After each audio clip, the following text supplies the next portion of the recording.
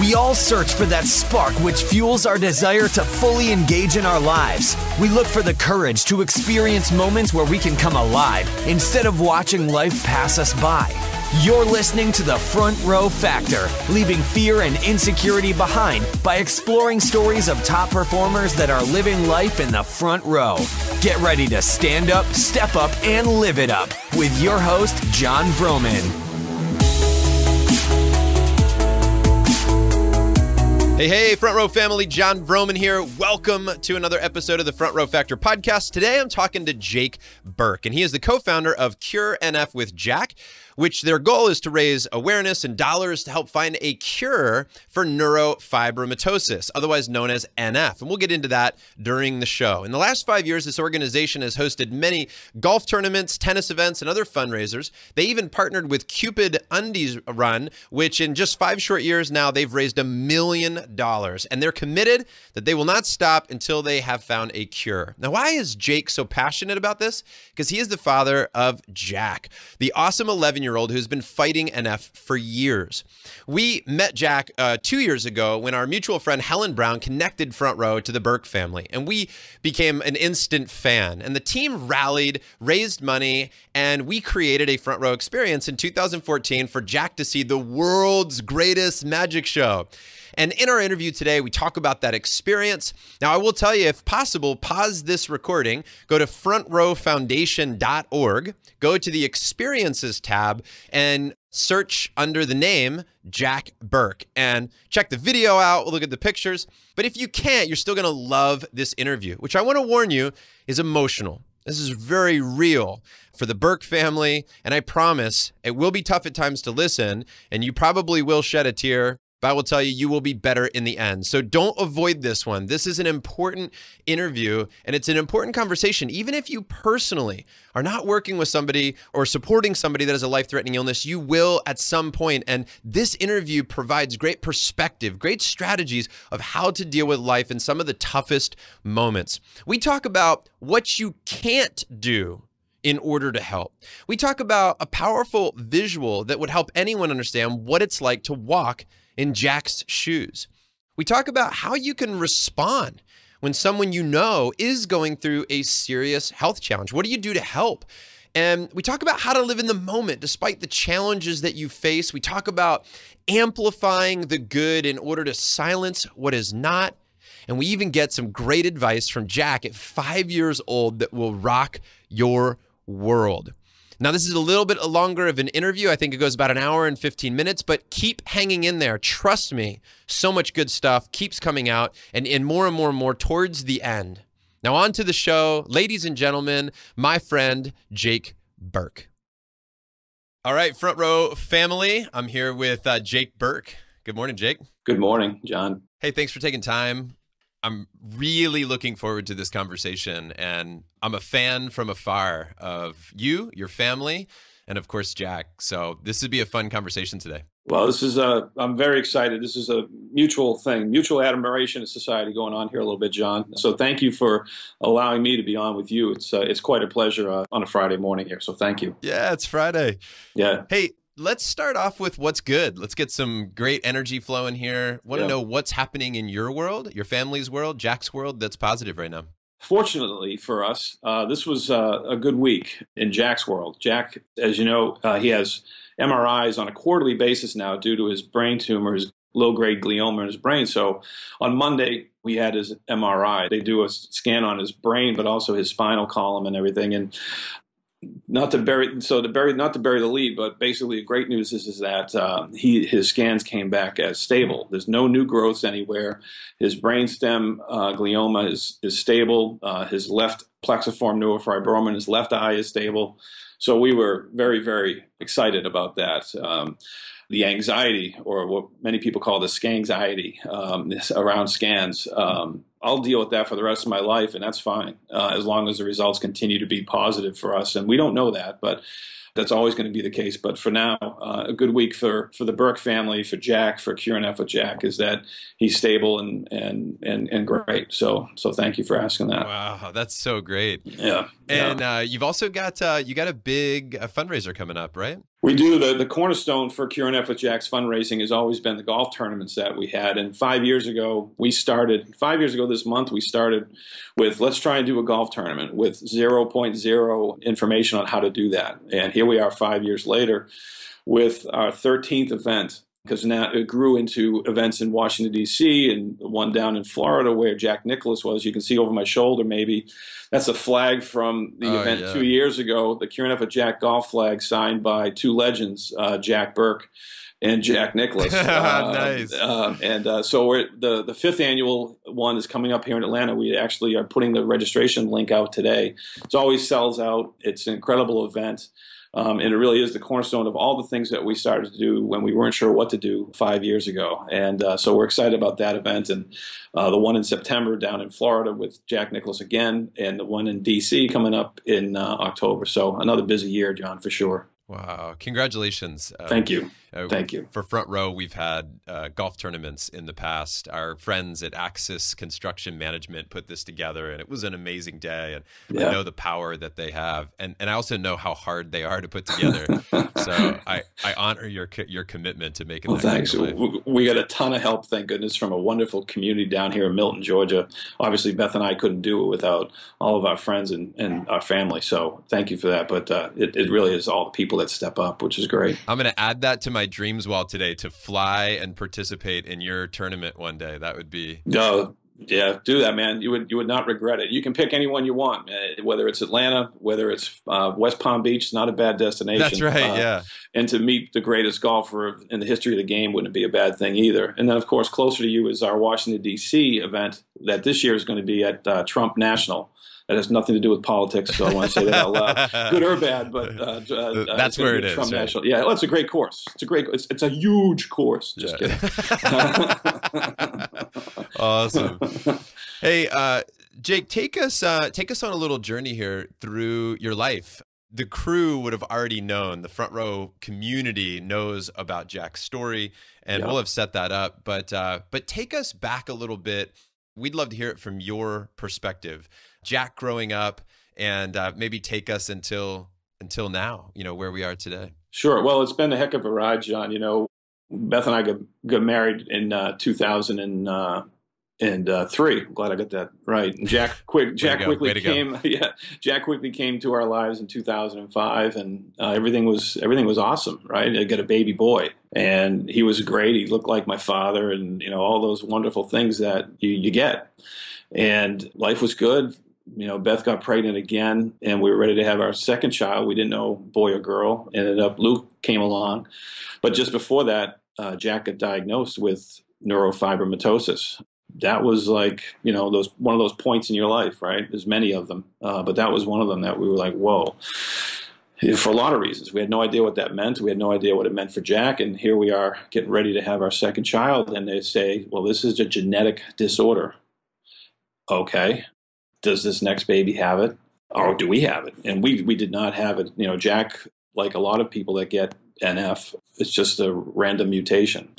A lot of people get it because it's inherited from their parents. That whether their parents know they have it or not, in many cases people don't, and uh, carried on. But for Jack, um, it was random. For Luke, he came along fine, born in 2007 already trying to rule the world. And uh, fortunately for him uh, and for us, he doesn't have NF, nor does Grace, who came along in 2011. She really rules the world um, right now in this house. So yeah, that was that was the beginning of the of the Burke family, as it were, and as it is now with the three kids. And we were trying to balance this new family with Luke and first, and at the same time, all these things coming down the line about Jack's condition. Mean, we didn't know anything about neurofibromatosis. I knew that it was uh, one in 3,000 births, which makes it more prevalent than cystic fibrosis, muscular dystrophy, uh, Huntington's disease, all of those things you've heard of, right? That's right. You've heard of all those disorders. Yeah. But I bet before you, maybe before you uh, heard about Jack from Helen Brown, you were like, NF, what now? What is that? Right. I had not. Yeah. Right. So therein lies the problem. I said, well, if it's one in 3,000, it's that prevalent, this is going to be, this would be cake you know, this is going to be great. There's got to be somebody out there, you know. And I found out very quickly that we didn't have our Jerry Lewis. You know, we didn't have anything. People didn't really know what it was. I didn't know what it was. And what does it mean and all those things. So we got right to work internally about what we're going to do about our son. And it took a long time, Jon. Um, you know, I sit here now, I do these podcasts, I put my heart out and soul out on social media. I, I document and, and write blogs about Jack's uh, issues in the family and all that stuff. But that's not how I started. We started like, oh boy, you know, we don't want to. I don't, I don't want to tell anybody this stuff. And many many families struggle with that, I think. And then we decided that well, you're either going to sit on the sideline and wait for somebody to do something for your son, or you're going to step up and do something. What is it? I don't know. And the first thing to do was to let our world know that we we have this battle and will you come along for the ride? And that's what we decided to do um, when we decided to create Cure NF with Jack. One of the first people that I told about Jack, whose last name was not Burke or O'Brien, was Helen Brown. She probably shared that with you. We are colleagues on the road back when I was working in, in the same industry, and she just asked me. Uh, we were sitting in a bar. That might not be a surprise to you, but uh, we were sitting in a bar, and I had a I had a bracelet on, and she asked me what the bracelet was, and she allowed me it was really the impetus of me telling the story to the world. It started with that conversation with her. So, you know, she's a special person to me. But once we decided to do that, John, then the world changed and our world's become partially about uh, NF with Jack. But the Burke family is more than that. You know, you mentioned earlier about, you know, I mentioned Luke and what our lives are about now. We've got these three kids, you know, 11, 9, and, and 5, and just uh, fill our days and our weeks and our months like a lot of other families with a tremendous amount of joy and a tremendous amount of angst. at the same time. And that's what we're doing. We're living life. And God bless Luke in particular. He's the younger brother that has been living with this too. He shares a room with Jack. He knows all about NF. He knows that people struggle with NF, people die from NF, and, and but he is leading the way in, in the fight but living his own life too. And he's a he is a great great boy. Does well in school, does well in the athletic field, you know, lacrosse, ice hockey, and all that. So he's he's a wonderful wonderful kid and, and a great asset to us. And then of course there's Gracie, who has changed our world. You know, having two boys we wanted to find out the gender for this one. Uh, and, and, when the doctor said, yeah, it's going to be a girl, we were like, wow. And she's been just an amazing gift for us. And she'll be in kindergarten next year. So the first and only year, all three Burke kids will be on the same bus going to the elementary school. And, you know, look out elementary school. That's all I can say.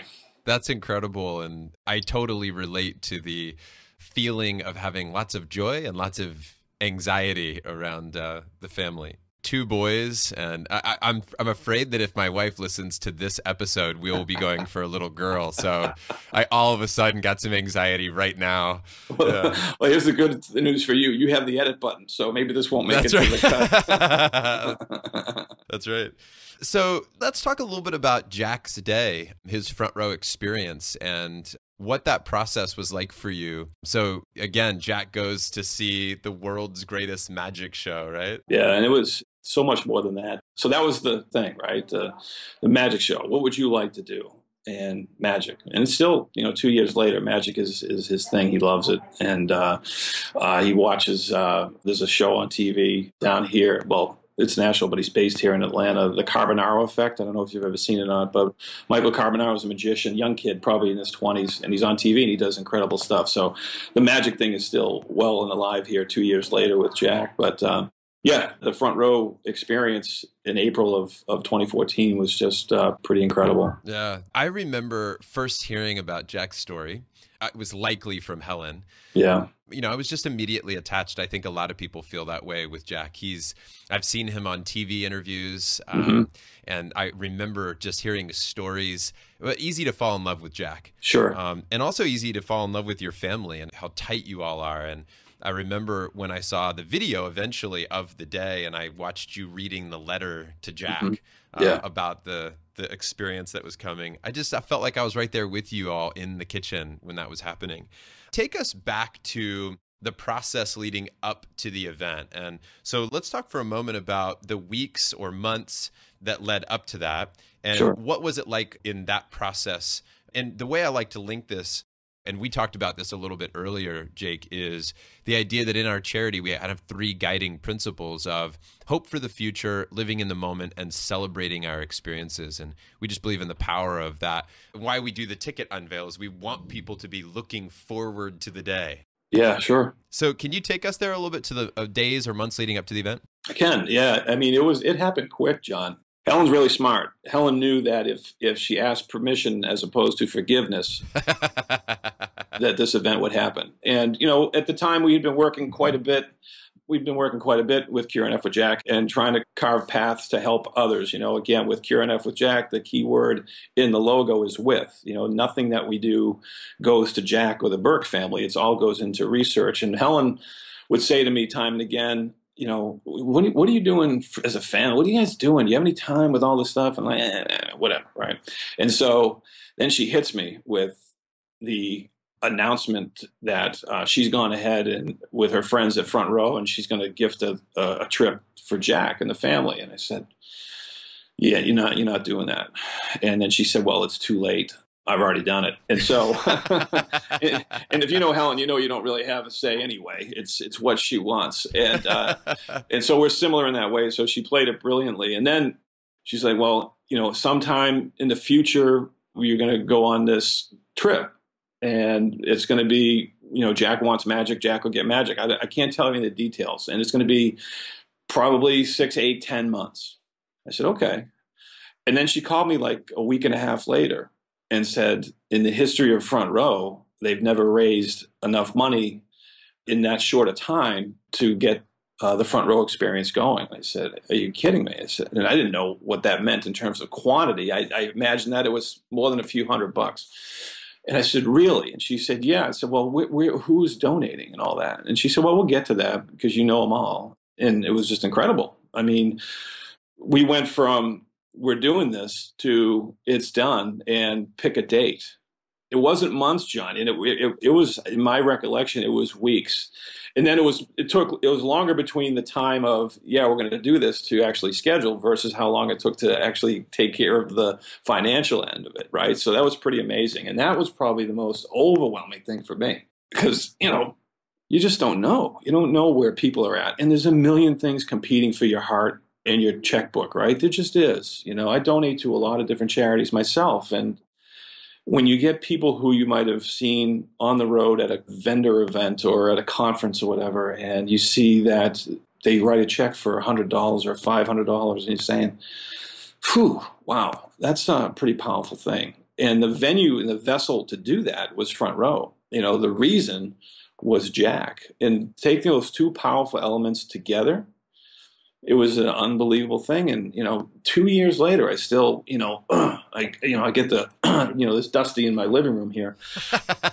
I see it. I see it's floating around. Yeah, it's floating around. It's pollen. Yeah, pollen uh, down in Atlanta. That time of year. But even two years later, you know, in the people that still stay with Jack, people that wrote a check because Helen asked them to, but they stay with him on Facebook and on Twitter and on Instagram, and they always comment about the good, the bad, and the ugly that are going on with this disorder, whether he's had an MRI, and I've announced that he's had an MRI, and I get inundated for days from people that have not even met Jack necessarily.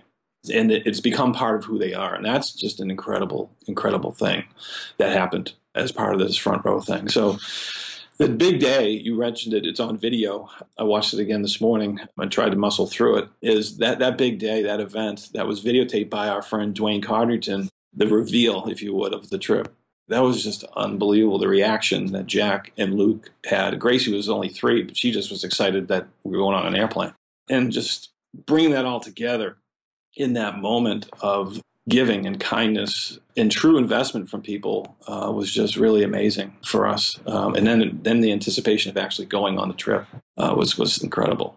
So, Jake, I want to take a quick second and talk about as you reference the support of the people. You know, you talk yeah. about like the fundraising and the people, and you have the, a friend who does videography. We call that who's in your front row as being one of the most critical elements especially if you're fighting something in life, if you have a challenge, if you're trying to overcome, having people that are supportive can mean so much. Yeah. Can you speak to that a little bit about what impact that's had for you I think you did that just beautifully now. I just want to give you a chance to expand that if you'd like of of the impact of of the right community around you.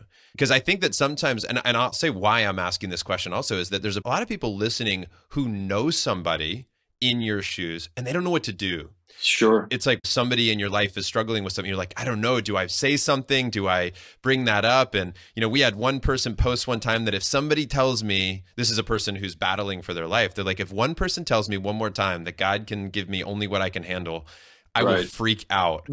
So I've joked around about that saying too. I'm like, you know, I think God made a mistake. He he spelled he was looking for some other, he was looking for a, a Steve Burke or something, but he gave me his stuff because I'm Jake Burke and God, you know, this whole gives you what you can handle thing. Maybe that's true. I don't know, but there's to your larger point. What do people feel like they can do? Yeah, that's right. right. You know, what do I say? Geez, the, the kid's got uh, leukemia, and uh, or the kid passed away from a disorder. What do, you, what do you do? You know what you do?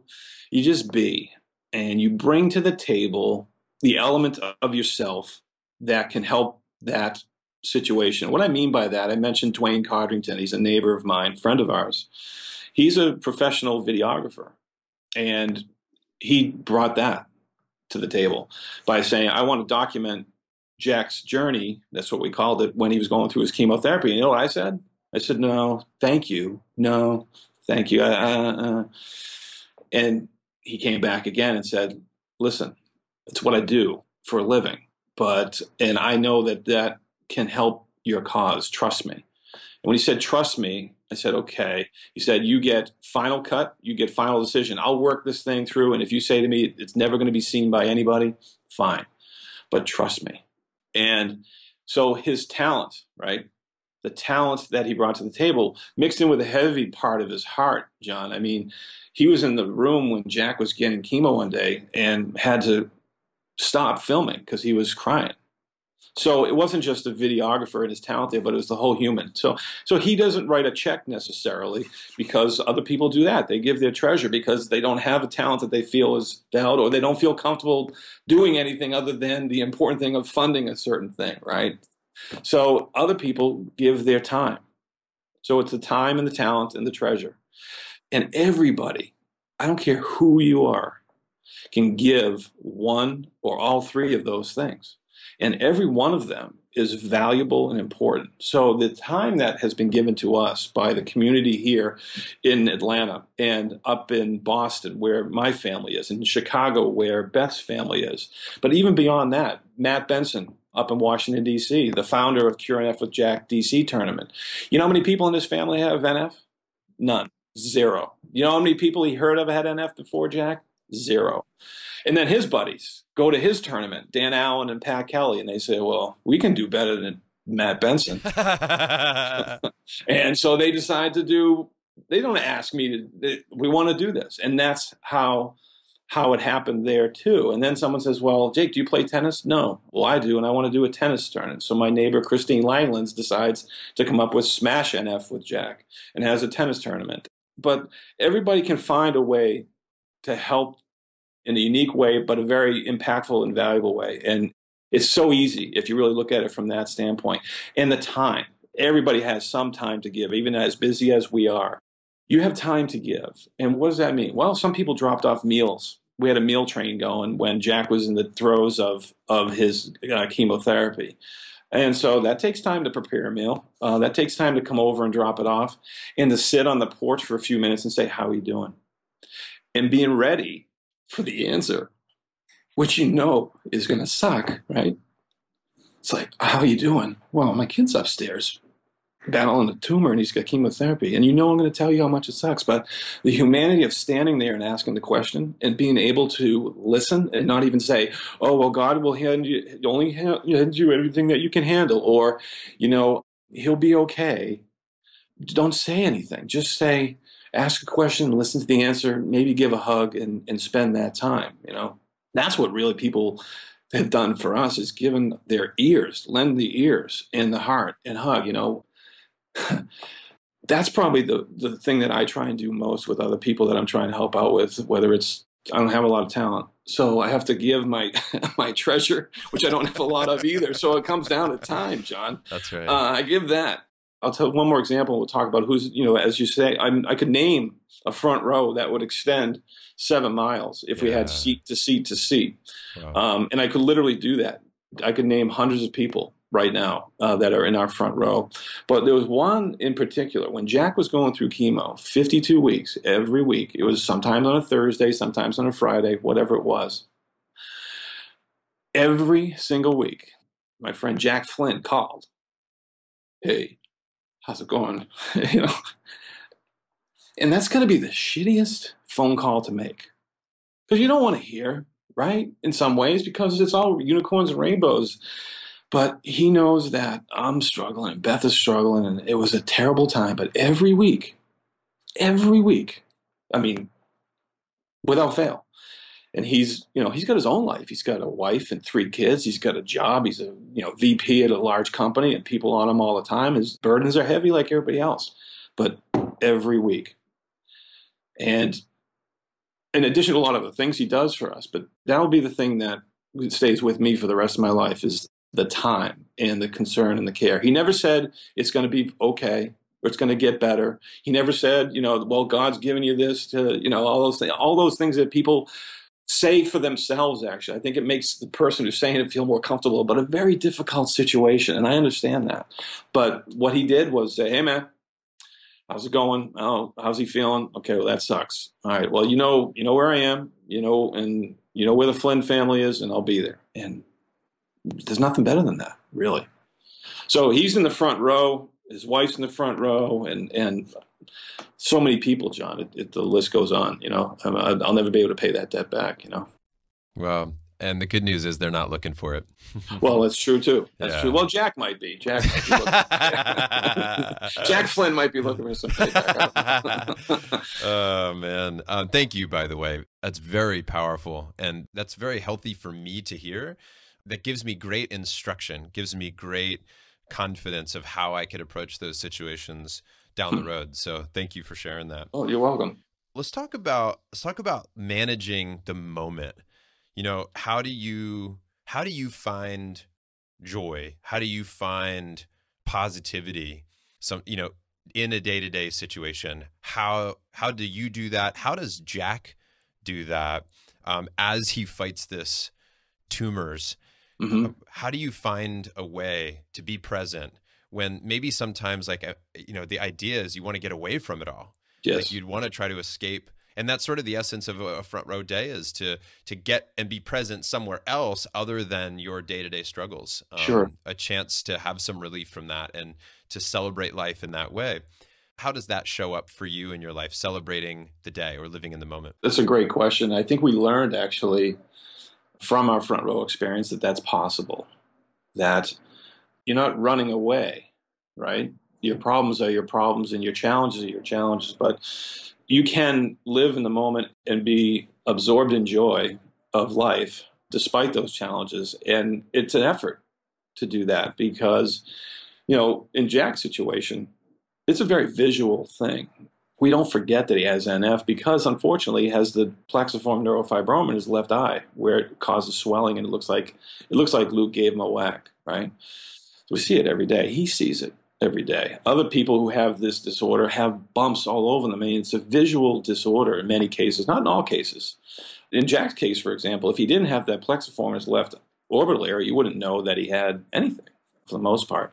So there's a continuum there that how the disorder manifests itself with people externally in addition to internally, and it's terrible. How do we live in the moment? I don't know how I can speak to Jack. I don't know how he does it. But for me, how I do it is just that you only have one shot at this. And so, what are you going to do? Are you going to, what are you going to do? So, I believe that there's joy every day. I mean, just stuff that everybody else does, like you do with Tiger and Ocean, and everybody does with their families. Yeah, we have this thing, and it's a tremendous burden, and it's a tremendous scary thing, and it's part of our lives, but it's not our lives. You know, one doctor said about Jack, we hosted and paid for a consortium of doctors looking at NF a couple of years ago at, at Matt Benson's golf tournament. And one thing he he got up and he said, "I know Jack Burke. He's my patient, but I know him. And you know, Jack has NF, but NF does not have Jack." And I was like, "Well, you know, I thought I was pretty clever." and I've been living in this stuff for years, and I didn't think about it that way. We went home that later that uh, week. We came home from the trip, and Beth printed it up, and we hung it on the wall in Jack and Luke's room.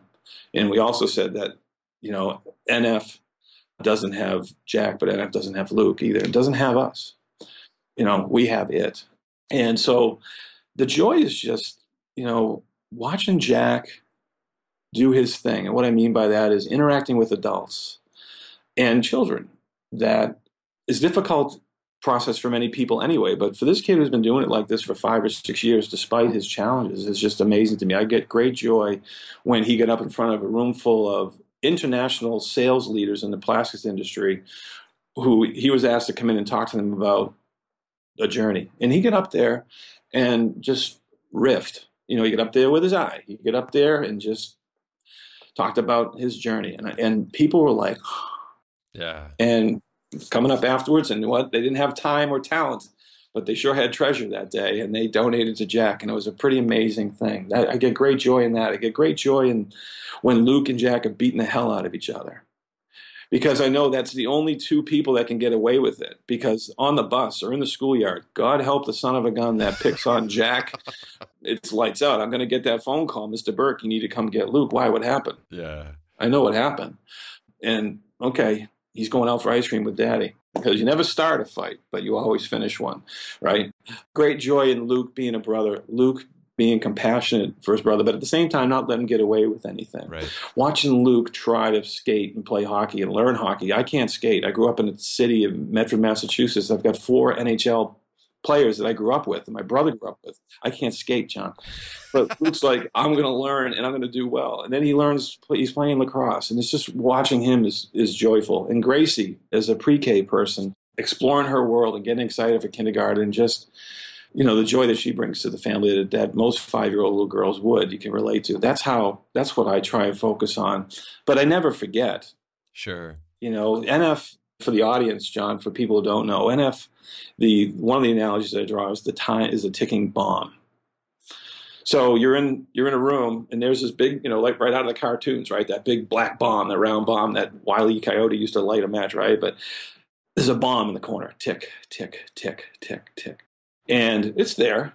And the guy says that may never go off or it's going to go off any second and it follows you around everywhere you go. Right. When Jack got his diagnosed with his glioma, the bomb didn't go off. It just the ticking got louder. Yeah, right. Tick, tick, tick. So we could live in that space and just, you know, hear the ticking all the time. And I'd be on this podcast with you on video going, and you'd be like, what's going on with this guy? But it gets muted by the joy. Yeah, that's right. It gets muted by the hope but it doesn't go away. And it may never go off. And I might die with that bomb never going off. I might die with a cure. For, and we'll be talking about we have to change the logo to cured, put a D on it. Cured NF with Jack, a big red D. That'll be a party, my friend. That'll be a party. Uh, you'll want to be at that one. Yeah. So it may not, but we choose to live day to day with all elements of life and understand that on some days we have experiences that others don't. Yeah. And they're bad. But at the same time, we have experiences like front row that you know, I would trade everything not to have that experience because Jack wouldn't be sick. But the fact that he is, and that's our reality, we get to experience joy and love and hope in ways that other families never do. And I think that's a gift that we are able to give. And one of the reasons why I share the good, the bad, and the not so good with our story is because I think that we allow people into our lives to experience the bad because it's important, but also to experience even firsthand if they if it's them or second or third hand that they read about what somebody else did for us and that's life for me um, if i could though talking about jack i don't know how he does it Jon mm. i don't know how he finds the joy that he finds if people go to his facebook page Cure NF with Jack, they'll see a photo of him sitting with his cousin May, who's just a year old, and he's in the middle of this huge guffaw, like laughter. And that's so him. It's so him. And I don't understand how he does that. I don't know how he goes to school and works really hard despite some of the challenges he has, and he excels, and his teachers love him. Everybody loves Jack, right? I don't know how he has such joyful life that he sends out that message to people. You started at the top of the show here saying that, you know, you just Jack's easy to love, right? I mean, he's a pain in the neck 11 year old, like a lot of them, sure. are, right? But but in the greater view, I don't know how he does it. Imagine you speak a lot in front of people, right? I do. Let me ask you this. So you get up to in front of an audience, I don't care if it's 10 or 10,000, and you're on the side, they're about to introduce you in, and you're ready to go in front of the mic. And what do you do? Do you check to see if your fly's up? I don't know. I do that because I'm like, oh my god, what if you came off one of your speeches, Jon, and and you realized that your fly was down? You realized that people weren't so intrigued by what you were saying, but it's what was going on there. It's like, wow, right? Wow. So you've been you've lived a life. So you've been down walking with your wife in the mall, and you're and you're like, why are people? I know she's pretty cute, but why are people looking at my wife? Yeah. Oh, wait a minute, they're not. Uh oh. Yep. Yep. My yep. fly's down. We've all had that experience.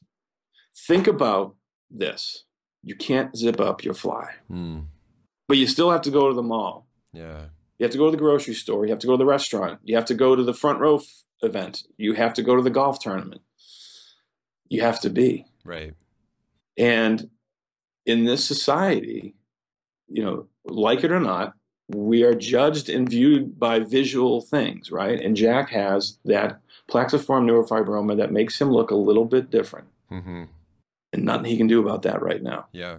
And you'd be amazed if you walked with him in the mall, you'd be amazed at what you would observe.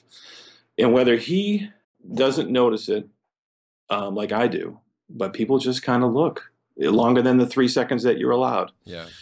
And I I've done a pretty good job every time I get better at it of just swallowing all that. Like I don't, you know, kids get a free pass. If you're below junior high school, you get a free pass. But when you have a parent, a, a grown man or a grown woman doing, you know, this, I have a hard time with that. But he, I think he either doesn't notice it or he's done a better job than his father and probably many of us as adults dealing with that yeah. of being a little bit different. What advice would you give to parents or children, for that matter, on that subject of being different? And you know that my kids have interesting names, and people, you know, we think about like as they grow up, what they will deal with regarding those names. Mm-hmm. And uh, what advice do you give to parents or kids on that subject of how you deal with that? Huh. Uh, the advice came from Jack. Love that. It did. It did. And it hit me right between the eyes. He was four or five years old. We're at McDonald's. And this older gentleman comes up and he looks at looks at me, looks at Jack, and he says, He wasn't an evil guy. He wasn't Sure. a bad guy. What's wrong with your eye? Quote unquote. Yeah. And Jack pretended, I think, that he didn't hear him. And I kind of just kind of looked at him. I didn't say anything. And he, and he said it again. He looks at Jack and goes, What's wrong with your eye? And Jack hesitated. He didn't say anything. Again, again, he's five years old. Sure. And I said, Oh, he bumped his eye on the kitchen table. Oh, geez, I hope you're all right. Oh, thank you, sir. We got our McDonald's breakfast because I'm a big spender. We sat down in a chair. I'm I'm deep into probably my third English egg McMuffin. And he says, Daddy. I said, Yeah.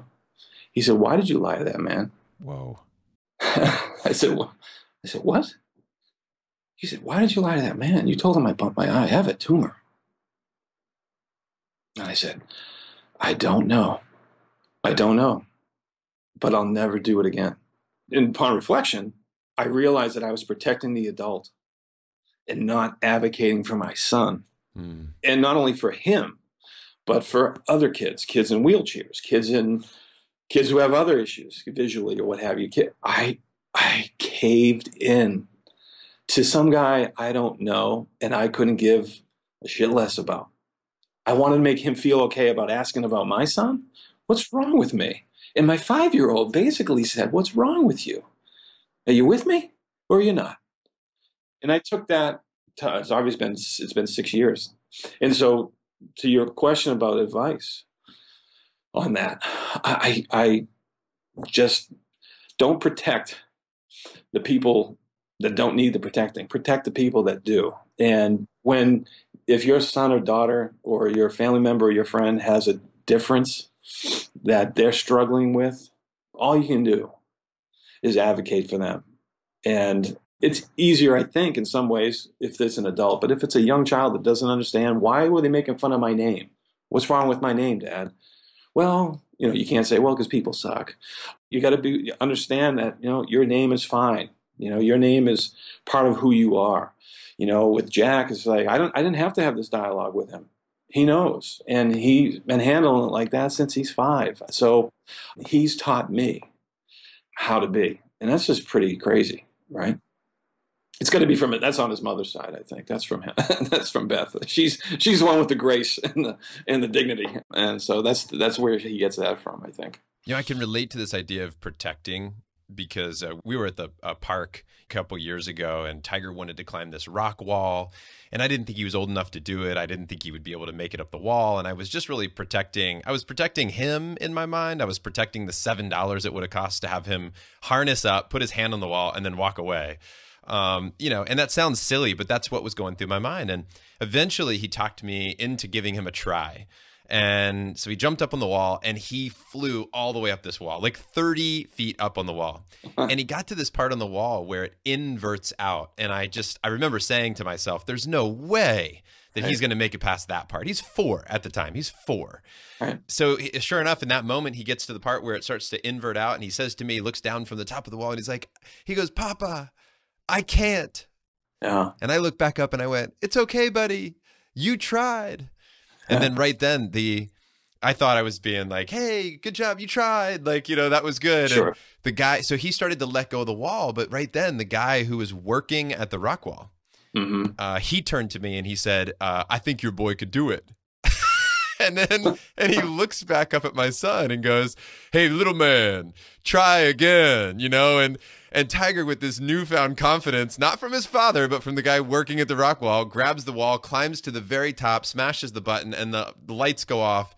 And oh man, I was both excited and felt like the worst dad in the entire world. Right. Um, right. And and what I realized when I walked away was that it's also easy to treat somebody like we remember them yesterday uh-huh. versus who they've become today and the type of person that doesn't maybe need our protection but needs more of an encouragement and a support and a you got this yeah like let's just let's go after it and not being afraid of the failure piece so i relate to that a lot man i relate so let's uh let's do this. I, I want to spend a few minutes and talk about the day itself. Sure. You know, Jack's day, his front row experience. Can you speak to that a little bit? What was that yeah. day like? What was it like for your family? What was it like for Jack? Well, it was pretty incredible. You know, I mentioned earlier that uh, you know sometimes we don't sleep the night before the MRI because of the anxiety, right? But the night before the front row thing, I really couldn't sleep, and it was for a good thing, right? It's for this. Like, I'm like, wow, what's going to go on? And I mean, Helen was great. You know, we knew in general, but we didn't know. We didn't yeah. know the specifics. We didn't know that Jay Lodge was going to be there, and Gossamer the magician, and and Dan Black, and Oh, so it was, it was really exciting. So everybody got up early. We didn't have to set the alarms for the kids even uh, that morning. And getting great. up and getting to the airport. And I remember talking to Helen because I'm an idiot. Like, so do we go to the airport? So we'll drive to the airport. And she's like, are you? No, you don't do anything. You just show up. The car is going to pick you up. And I know she got frustrated with me, like, wow, he just doesn't get it. Um, not the first time in our relationship that uh, that she thought that we've been friends for too long, and just you know being treated like you know you're something special was great for for all of us. And you know, getting on the airplane, I mean, that's always a cool thing for kids. I think. I mean, Jack's flown for his whole life because our family's in Boston. We traveled a lot with our kids to go see relatives, but you know, Gracie was all about window seat. And of course, you know, it didn't take them but five minutes to start fighting. So that's not on the video of. Uh, we left that out. Of front row. We'll leave that part out of, eh, stop touching me. You know, all that. I'm unfamiliar with that. I have no idea what you're talking about. Yeah, you have no idea, right? Yeah, I know parents on this uh, who are listening to this like, wow, that never happens at our house. And then just getting to Myrtle Beach and just having no idea, you know, Callie Monroe was the coordinator, right? She's amazing. You know, she's one of those few people that are I mean, she's absolutely stunning, right? She's a stunningly beautiful woman, but even more so on the inside. And I mean, we're friends now, and she's a mom, and it's just incredible. She's a great lady, and her husband is terrific. And Angela Wolf, who is just you know, giving of herself. It's not easy to. It's like videotaping cats, right? Yeah. When you're you get three kids running around crazy, and she captured, as anybody who's seen the film from that day, captured the moment so eloquently and, and wonderfully. She was in it, but not in it. You know, yeah, that's right. Great person. So we meet all these folks. And the limo guy, you know, he was great. Everybody who touched us that weekend, right, mm. was just wonderful. And then we get to the hotel, and Jay Lodge is there. He, you know, for the folks that don't know, he's the owner of the theater that was hosting the greatest magic show on on earth, and he showed up like not just to say hi, how are you, right? I don't know if you know this guy or not, Jon, No, but no, no. oh my goodness, I mean, he shows up with bags full of stuff. You Oh, know, cool. all the stuff you can buy at the show, like the plastic swords and all this stuff that would cost me like you know three hundred dollars, right? I God. remember hearing about this. yeah, he was like my favorite guy because he saved me like three hundred bucks, right? But but a really really cool. we'll send him guy. this show. Let him listen to this. He knows. I told him a million times on Facebook, but I think he's a, I think he's originally from Ireland, if I uh, Oh, cool. or England, if I remember correctly. He and his wife are great people, and it just made us feel great. And was, and then that was in the middle of the day. Like we got to the hotel, and he's there. And then he goes like poof, he's gone. I'm like, all right, what's going on there? And Helen's cracking up because she knows I'm a little bit of a control freak and I don't know what's going on. So, and she's loving that. Yeah. Then we went to lunch. They set up lunch. We walked over to the Hard Rock Cafe, and it was like the Hard Rock seemed like it was open for us, right? And the waitress was great, and we sit down and and whatever you want, and the whole staff came out and they did a front row photo with us, and it was it was cool. It was like, you know, the kids walked around. It's like, oh, the Beatles. I'm like, oh, don't ask me that. Like, you don't know who the Beatles are. You know, Jimmy. Who's Jimi Hendrix? He looks funny Right. like, oh my god, these guys are rock gods. Stop it. Um, we, you know, and they're looking for the boy bands. You know, I'm like, oh, Taylor Swift. Where's Taylor Swift? Not yet. She'll be there, but she's not there yet. Looking for our buddy uh, Kevin Griffin from Better Than Ezra to see if he was on the wall. He's a great guy. But uh, then. For me, I don't know if Helen did this intentionally or if this happens at other events or not, but the Myrtle Beach Fire Department is outside in the parking lot of Hard Rock with the ladder truck and an engine and 15 burly, muscle firemen, right? And I'm like, what's this all about? And they were part of the gig, right? They they pull out all the stops for Jack and for Luke and for Grace, and they gear them up with the fire equipment and get them up on the hundred foot ladder and shaking hands, taking pictures, and just incredible guys, right? And I don't know if you know this, but my father was a firefighter. No, I didn't know. Yeah, yeah, yeah. So, Oh Um, wow. yeah, so we lost him ten years ago. I'm sorry. Yeah, so he knew Jack. He he Jack was a year old when he passed, so he he knew Jack. Didn't know Luke or Grace, but they know him. Uh, we keep him we keep him close to our family. I have actually the most prized possession other than my my family. You know, they say, "What do you do in a fire in your house? What do you take?" Right? People say photo albums and a whole bunch of different things. I've got his helmet. I've got his firefighter's wow. helmet, and so they they they know all about him. But I want, I'm like these guys, these fire guys, firemen. I wonder if Helen did that on purpose or not. Um, I don't. I never asked her that, but I was overcome with just that. You know, then the connection to my father, and it was like, wow. And the, and we had a blast, and so they did their thing, and then we went we went back to the hotel, and we did a little bit of talking to Helen and uh, about what's going on with Jack, and filmed a little bit of the video, and then went to the magic show. Right, but before that, before that, we went to get pizza at Mellow Mushroom, and they had the sign out in front, "Welcome to Myrtle Beach, Jack Burke," and he thought that that was the greatest thing, like he was Frank Sinatra or Elvis Presley, like his names and lights, and and it was really cool. And It's they a got big that. moment. Well, yeah, you know, Mellow Mushroom, man, right? And he's got that iconic photo of him in the front row in front of the sign. And they let him go watch make pizzas. We had pizza and all that stuff. And then the magic show was just incredible. I mean, the, the coup de grace, right, is here we are, the front row. We walk in and we get escorted in past all the little people, right? And, uh, you know, there's the big, they have this big candy bar thing this, where you can get all sorts of different candy. And, and Jay was there and he's have at it. They could get whatever they wanted. It was literally kid in a candy store. I've heard that phrase a million times, Jon. Front row actually delivered it. And I'm like, whoa. And to the point where we're like, all right, kids, cut it out, you know? yeah. And then boom, to the front row. I'm not sure. I can't I can't say this. I don't think I've I've been to the front row once in my life. Mm. So this was really the first time. And I'm in the front row with with the kids and with Helen and stuff. And the magic show was incredible. You know, they obviously interacted with Jack and with Luke as well.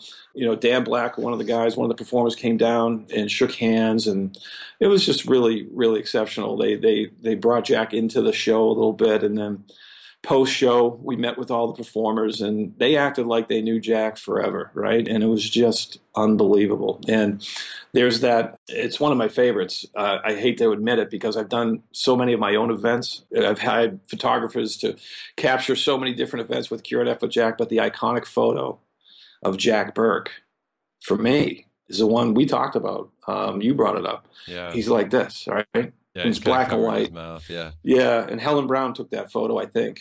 And that said it all about what we're talking about today Yeah. about joy and living in the moment and forgetting that, you know, in three days he's got to go get a needle again to get chemotherapy. He, for that moment, and for many more during that weekend, we all were like, just done. Front row, mission accomplished, right? It was unbelievable. And then, you know, Jay Lodge decides to, oh, well, not only am I hosting you here, but here's a couple tickets to go on a helicopter ride. What?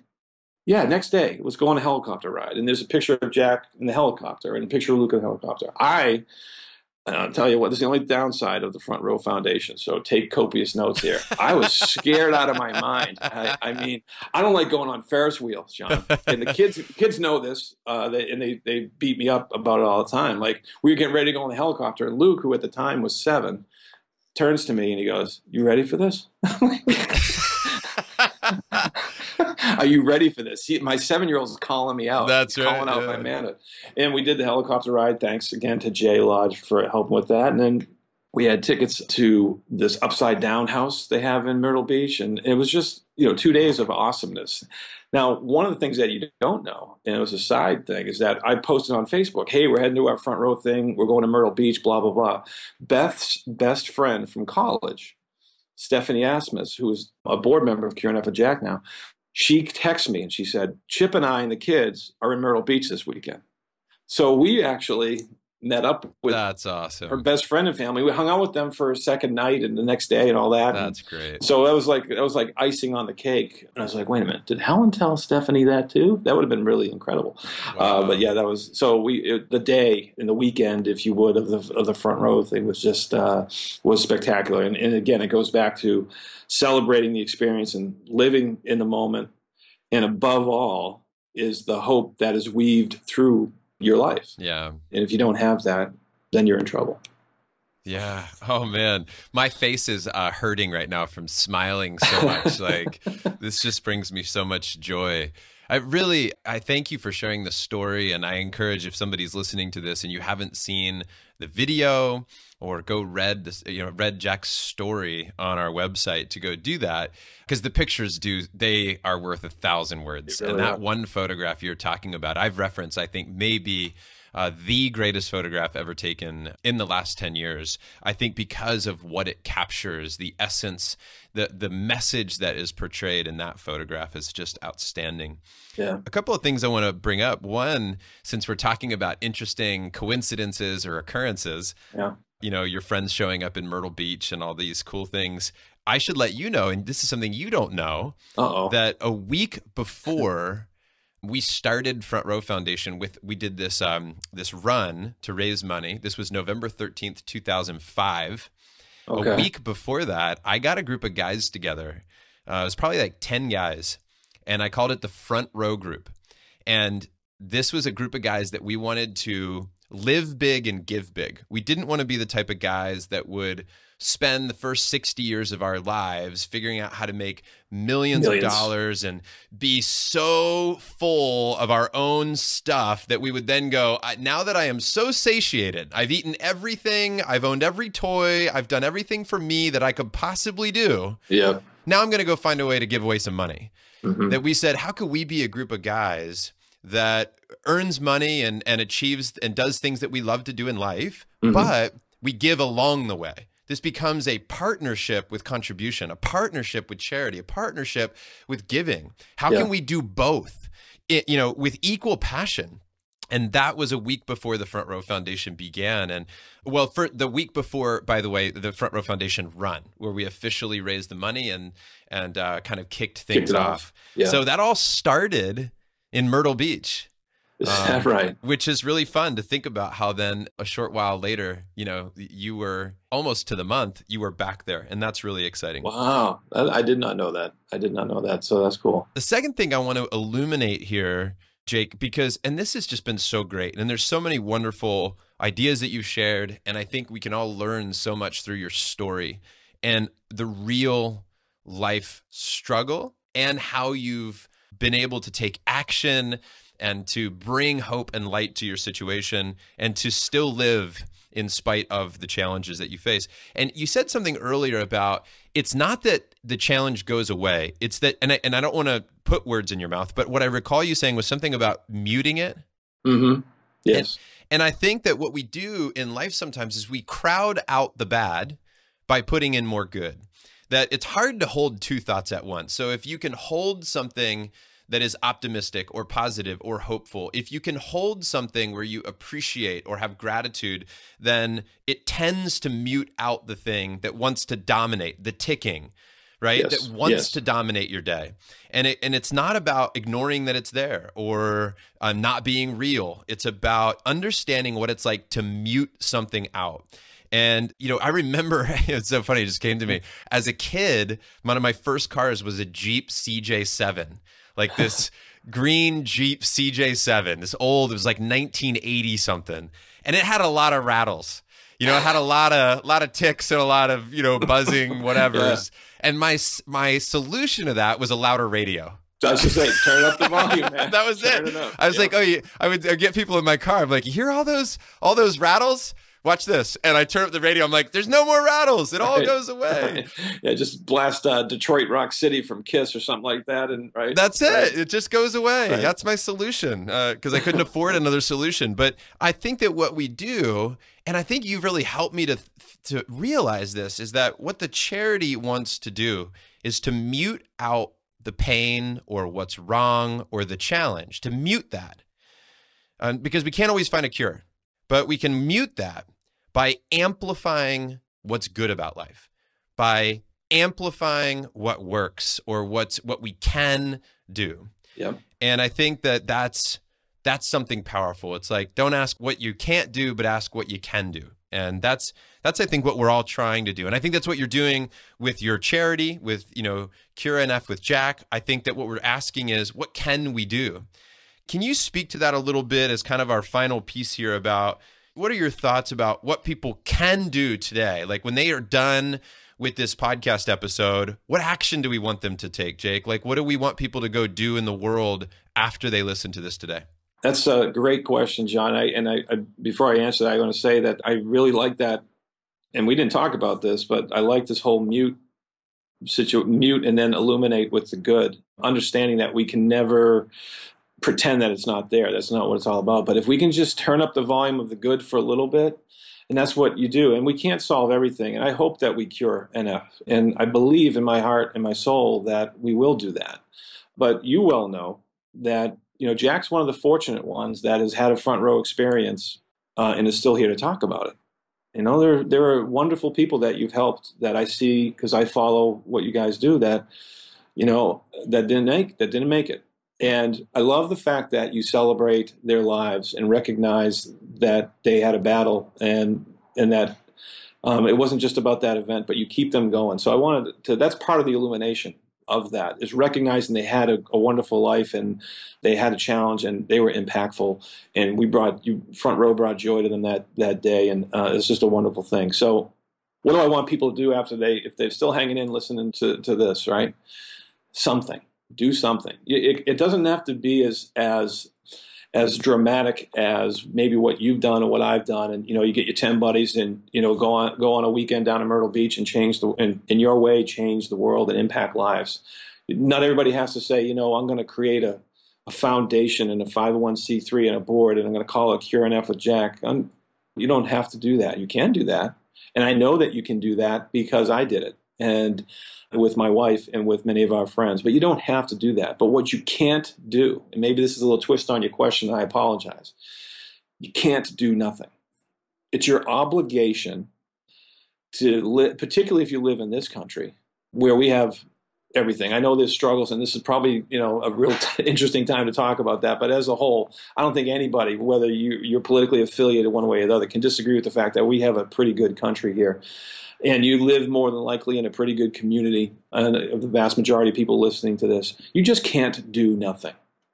If you have a coworker that has a son or a daughter that has something and you know about it, you got to do something. What is that something? I'll bring it back to time, talent, or treasure. I'm not telling you what to do. I'm telling you what not to do. Don't do nothing. So, what's that mean? Run a race because they're having a race for the kid's affliction, or write a check, or take somebody to lunch because you know that their son had chemo this week, and you, hey, you got a minute, let's go out for a beer. That's something. But to do nothing is probably the worst thing that you can do as a person. And I don't understand. I'll never understand it. I don't claim to be this wonderful person. Anybody who knows me knows that I'm not. I have my faults too. But for me, I guess what Cure NF Jack has allowed me to do and understand not only for us, but for other charities and other causes that we are involved in out there is that the biggest sin and the worst thing you can do is nothing. So when you finish listening to this today, you know somebody out there in your community within one degree or two degrees of separation that need your help, that you can help their need. And you know how to do it. It's just a matter of whether or not they're going to do it. And it's up to you. It's up to you whether you're going to or not. There's time, there's talent, and there's treasure. And uh, one of the things I tell people is that it's this whole degree of separation thing. You know, for Jack in particular, and for NF, neurofibromatosis, this might be the first time that your listeners are hearing about neurofibromatosis or NF, but I guarantee everybody on this call knows somebody that has it within six degrees of separation, that whole sure. Kevin Bacon thing. Yeah. I'll tell you, when Jack did that uh, corporate speaking engagement, which I love saying because he was 10 years old and that cracks me up, I said that at the end, I was speaking with him. At the end, I said to these guys, within six degrees of separation, you'll know somebody else that has NF. And I said, Does anybody in the room know somebody right now? No hands go up. Five hours later, I meet my buddy who coordinated all this back at the hotel bar to, to say hello and have a beer or whatever. And he met me at the lobby. He said, Jake, you got to come here. And I'm like, What's the matter? He goes, You got to meet my colleague, Bill. I don't, I don't remember his name exactly, right? I'm like, All right, everything all right? He goes, You're going to decide. I said, Okay. And the guy gets off his chair. He's at the bar. He gets off the chair. He comes over. He says, Jake, your son was amazing today. And I said, Well, thanks. I said, It's his mother. You know, I do that whole thing, right? It's his mother. It's true, it is. I said, Thank you. And he said, But no, this is the thing. I went upstairs to rest and I called my wife and I said, I met this little boy today and he has this disease called neurofibromatosis or something like that. And it was just amazing. I can't believe it. I've never heard of it. And his wife says, Bill, my brother has that. Oh, wow. And he said that. I said, "Are you kidding me?" And I made a I made a joke about it because that's what I tend to do. Is my defense mechanism is self deprecation and, and, humor. And I said, "Wait a minute, your brother in law has NF and you don't know it. What kind of brother in law are you?" and he said, "The family just never talked about it." Right, right. And I said, "Well, I wish him well. Thanks very much. And he went on his way. And Kevin, my friend Kevin Andrews from college, who coordinated all this, he goes, I just thought you were throwing some Medford Irish bullshit up there about the six degree thing. I said, Well, there you go. I'm not. And so bringing that back, six degrees, you know, you're going to know somebody. We're all connected. Maybe with NF. But most importantly, you know somebody that needs help. That's right. You can help them. That's just right. do that. Do something. Everybody, what I say earlier, Jon, everybody can do a lemonade stand. Anybody can do that. Yeah. Right? Do something. Yeah, do something. If people are listening and they want to get connected to you to learn more about Jack, of course they can they can check out his story on our site. But uh, beyond that, where would they connect with you or find more about uh, you know curing NF with Jack? Sure. The, the best place to go is our website, you know, Cure Com. He has a Facebook page as well. There's over 3,000 followers on Jack's page, which I think is pretty cool. So cool. Twitter, he's at uh, CureNF with Jack on Twitter. Uh, you want to get in contact with me, it's real easy to do. It's just jake at curenfwithjack.com. And I check my emails. Um, you can also message me on the on the website if you live in, in the Atlanta area or you just want to get on an airplane come down and meet Jack at, right. the, at, the, golf tournament. I, I, can tell you this: that no one's ever regretted meeting Jack. There's probably been a few people that's like, eh, I could have done without the old man, uh, but, but, but, no one has ever regretted meeting Jack, and he loves it. That's cool. But that's the key place, Jon. Thank you for asking that. But curenfwithjack.com is where where you want to be. Awesome. Well, I uh, I speak down in Atlanta uh, or Georgia at least. At, uh, I would say at least twice a year. Really? So I am definitely going to come connect with you all when I'm there next, and that would just be so much fun. I guarantee you it would be some fun, man. So you tell me how much time you have, and we can do everything and nothing and everything in between. So cool. that's that would be really fun. That'd and that would be such a blast. Uh, before we sign off and say goodbye, uh, one last question. Um, sure. When it's the end for you, whenever that time comes, and I hope it's very uh, in in the distance, a long way off from now. Yeah. Um, what do you most want to be remembered for, Jake? I think I want to be most remembered for taking action and taking a risk to try and help people with NF, and mostly, of course, rooted in. I'm not trying to be selfish and saying it's rooted in helping Jack. You know, I don't know what it would say on the tombstone if that if that's where I end up, but I think that I would. You know, all the success that you can have, whether it's in work or whatever, at the end of the day, uh, I want to be remembered for that. You know, I've told people this, Jon. You know, Jack's only 11, but what happens when he turns as a man and he turns to me one night, maybe we're out having a beer, right? And he says, What'd you do? What do you mean? Well, what'd you do to help help me with this NF thing? And if I don't say everything, then I'm saying nothing. So I want to be able to say everything I could. That's it. Wow. So let's fast forward to that place where Jack's grown up and he's sitting around with his uh, brother and sister yeah. and they're listening to this podcast. Yeah. What do you want to say to your family when they're listening to this 20 years down the road? What do you want them to know about your family, about how you feel about them?